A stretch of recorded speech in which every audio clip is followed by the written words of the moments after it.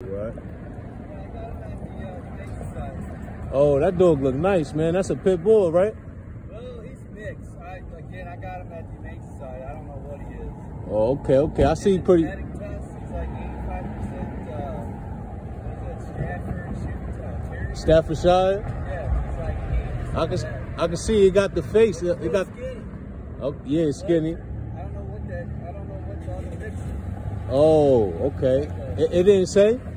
Well, no, no, the genetics test it, it had like 30% other, but Okay. I think he's part uh, English pointer. English There's pointer.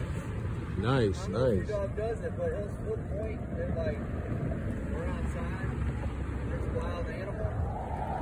Stops and points. So I don't know, man. Oh, that's awesome, yeah, man.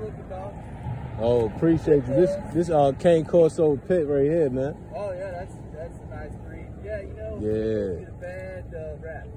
Yeah, always, That's always. Smartest, nicest dogs I've ever had.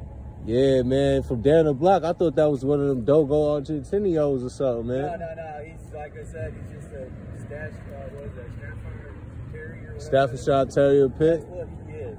Nice. What it said, the genetic test anyway. Okay, okay. Hey, dude, nice to meet you. Uh, nice to meet you too, man.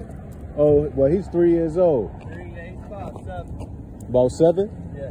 Oh, okay, okay. So what would you say his favorite meal is? His meal? Like, like what, what yeah, what would you say his Uh, favorite? I give him, uh, what is that? Freedom Farms, uh, it's uh, chicken and rice formula. Great, great, great. That's what I feed him. And what would you say his favorite activities are? This, Yeah?